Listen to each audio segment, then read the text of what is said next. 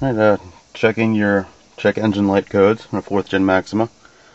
Um, you have to go down to the ECU. Normally, it's going to be right there, next to the gas pedal. You can pull off the cover, you're going to see the front of the ECU, little screw. Use that. Of course, mine is no longer down there. I got bored one day and extended the harness to make it easier. So now my ECU sits all the way out here. It's intended to go in the glove box, but I just never got around to putting it in. So, obviously, first you're gonna pop your key in, turn the ignition on, turn the windshield wipers off, and there you've got that pesky little check engine light. It's all dirty. And check engine light. So, you over your ECU here, and you can see the diagnostic screw.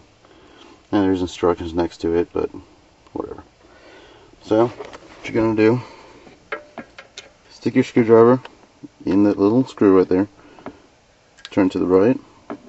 Hold it for two seconds. Then you turn it back. You look up here. Check engine light starts blinking that was three two three four five.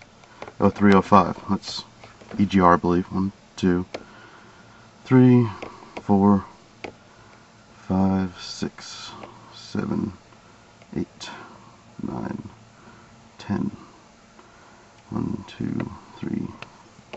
Three. That's EGR as well. One, two, three, four, five, six, seven, eight, nine, ten. One, two, three, four, five. Actually, 10, 1, 5. Might be EGR, but. Alright, you just basically count uh, the slow flashes is your first digit, anywhere from uh, 01 to I believe it goes up to 10, uh, it might be, no, 12 if you're an automatic. And the, uh, the fast flashes, here's the slow, it's the first digit. The quick flashes are the uh, second digit, or set of digits. Um, for example, if you got o, if you got three slow flashes, then four quick ones, 0304 is your knock sensor, which it won't light up the check engine light, but most people have that code anyway.